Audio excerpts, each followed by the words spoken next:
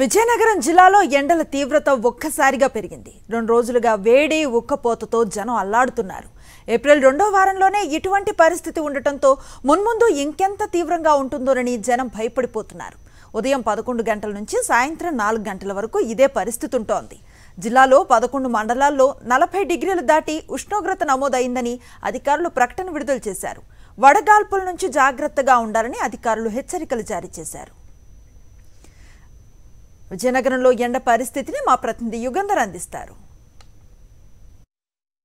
విజయనగరం జిల్లాలో ఎండలు మండిపోతున్నాయి. వాతావరణ శాఖ ఇప్పటికే రాబోయే మూడు రోజుల్లో ఉష్ణోగ్రత తీవ్రత చాలా ఎక్కువగా ఉంటుందని చెప్పింది. నలభై ఒక్క డిగ్రీలు ఏప్రిల్ రెండో వారం నాటికే నమోదవుతున్నట్టుగా వాతావరణ శాఖ హెచ్చరికలు జారీ చేసిన నేపథ్యంలో ఈ రోజైతే విజయనగరం జిల్లాలోని దాదాపు పదకొండు మండలాలు. విజయనగరం అటు పార్వతీపురం మన్యం జిల్లాలకు సంబంధించి పదకొండు మండలాల్లోని టెంపరేచర్ ఫార్టీ వన్ డిగ్రీస్కి టచ్ చేసినట్టుగా మనకు తెలుస్తోంది. రియల్ ఫీల్ అయితే మాత్రం నలభై నాలుగు డిగ్రీలుగా తెలుస్తుంది. ఒక్కపోత చాలా ఎక్కువగా ఉంది. ప్రజలందరూ కూడాను కూల్ డ్రింక్స్ అదేవిధంగా ఉపశమనం కోసం కొబ్బరి బొండాలు ఇట్లాంటివన్నిటి పెట్టినా ఆశ్రయిస్తున్నారు.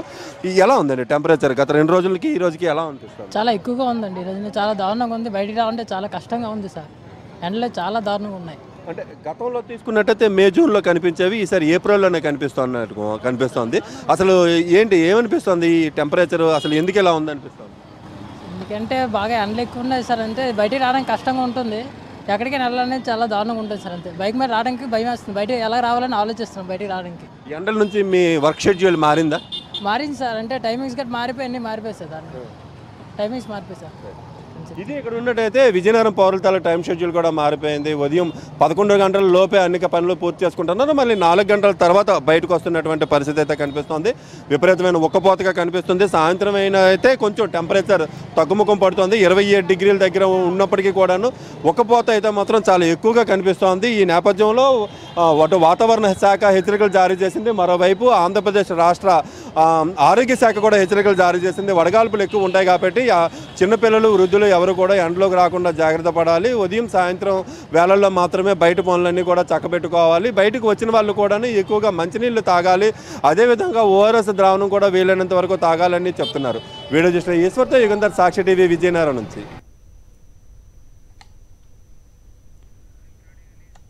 తిరుపతిలో ఎండలకు సంబంధించిన మరింత సమాచారాన్ని మా ప్రతినిధి విజయమూర్తి అందిస్తారు.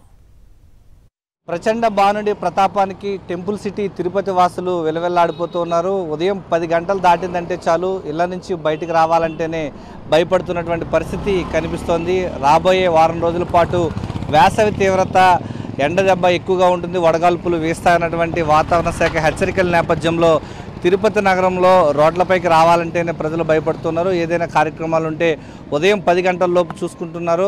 సాయంత్రం ఐదు గంటల తర్వాతే రోడ్లపైకి వస్తున్నటువంటి పరిస్థితి కనిపిస్తోంది. ప్రస్తుతం మనం చూస్తున్నాం తిరుపతి నగరంలో ఎస్వి యూనివర్సిటీ ఎదురుగా ఉన్నటువంటి ప్రధాన రోడ్లన్నీ కూడా చాలా నిత్యం రద్దీగా ఉండేటువంటి రోడ్లలో ఖాళీగా దర్శనమిస్తున్నటువంటి పరిస్థితి కనిపిస్తోంది. వేసవి తాపానికి ఇళ్ళ నుంచి బయటికి రావాలంటేనే భయపడుతున్నటువంటి పరిస్థితి నెలకొని ఉంది. తిరుపతిలో మీకు ఎలా గత రెండు గత రెండు రోజులుగా అయితే మరీ తీవ్రత ఎక్కువ ఉంది.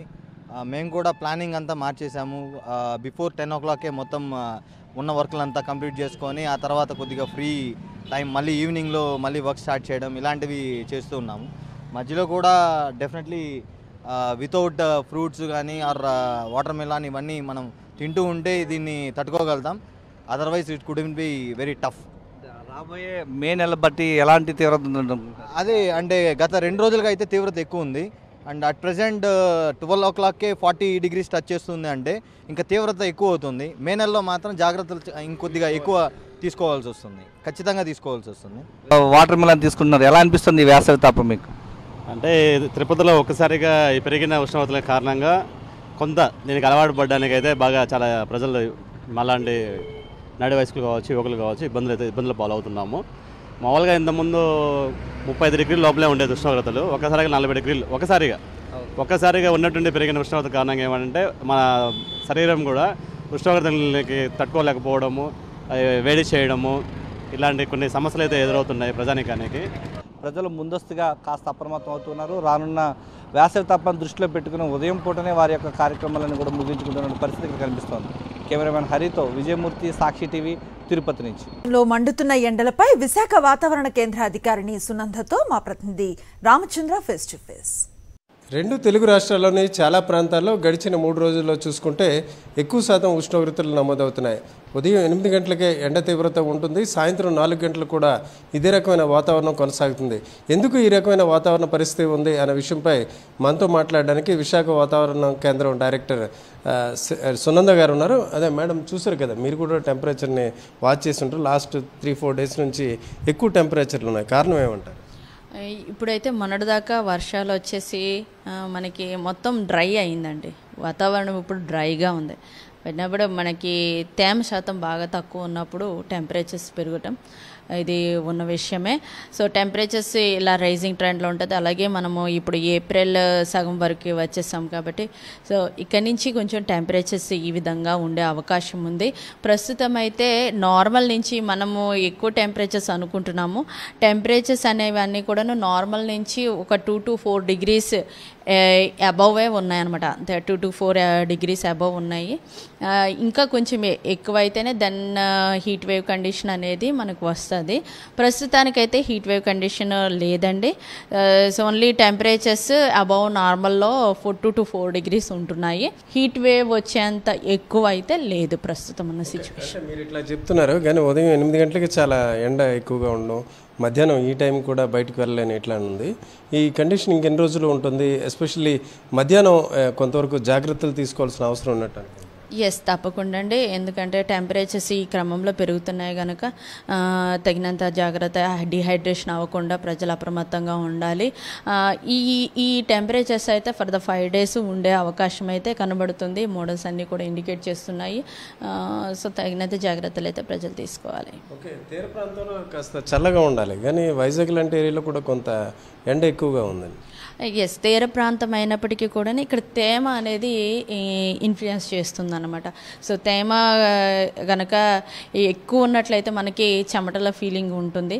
తక్కువ ఉన్నట్లయితే కనుక ఇంకా డ్రై అయిపోతుంది. డ్రై అయిపోయి ఇంకా వేడిగా ఒక్కబోత ఎక్కువ ఉంటుందండి. విశాఖతో పాటు తుని అట్లాగే నందిగామ అలాగే కర్నూలు జిల్లాలోని చాలా ప్రాంతాల్లో గరిష్ట ఉష్ణోగ్రతలు నమోదయ్యి సాధారణం కంటే ఒకటి నుంచి నాలుగు డిగ్రీల సెల్సియస్ ఉష్ణోగ్రత నమోదైన నేపథ్యంలో ప్రజలు మధ్యాహ్నం వేళ కొంత జాగ్రత్తలు పాటించాలని ఆమె చెప్తున్నారు. కెమెరా పర్సన్ రమేష్తో రామచంద్రరావు సాక్షి టీవీ విశాఖపట్నం.